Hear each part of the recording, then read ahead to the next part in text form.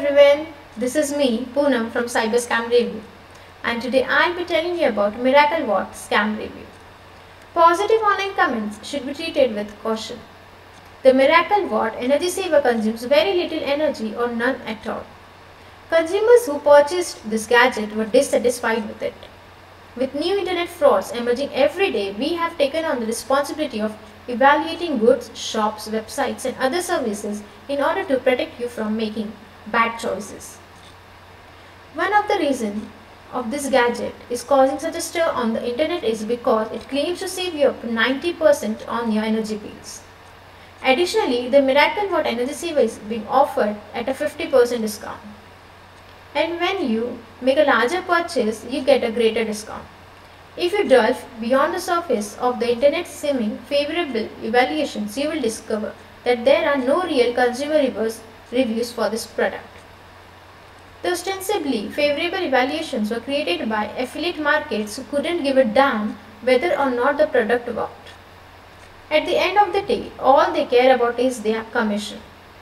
While this website seems to be legitimate, you should use caution in determining whether or not this gadget will really save electricity. Despite the fact this energy saving gadget has received many good reviews, they do not cover the whole story.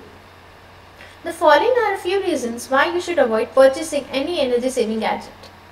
When the item is removed from the box, you will see that it is a capacitor linked across the power line. While this may provide some power factor adjustment, you are not charged for reactive energy in your house. As a result, you incur no savings.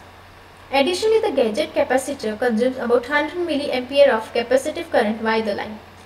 This capacitor will eliminate any inductive current drawn by a device drawing less than 100 mA.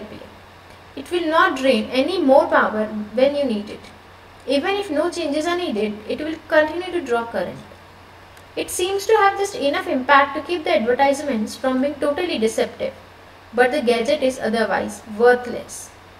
The one thing I couldn't discern about the official website video and which the presenter omitted to mention is the capacitor within the watt rescue really rated for AC line connection? Is there a risk of fire if a lightning strike occurs nearby? I am unsure if this capacitor is safe since it is spotted in epoxy. For safety reasons, capacitors connected directly to the alternating current line must have a X rating. Positive internet reviews, whether on YouTube or on blogs, are entirely false. This is because the contents were almost identical, copied and pasted with little modifications. Additionally, we have seen many of this kind of evaluations using the same gadget and they are all identical. They are wasteful. There is no way in any device this size can maintain a home electrical AC power supply or achieve the promised savings. You should be informed. Electrical consumption is estimated based on the overall amount of energy used, not on the phase corrected VAR.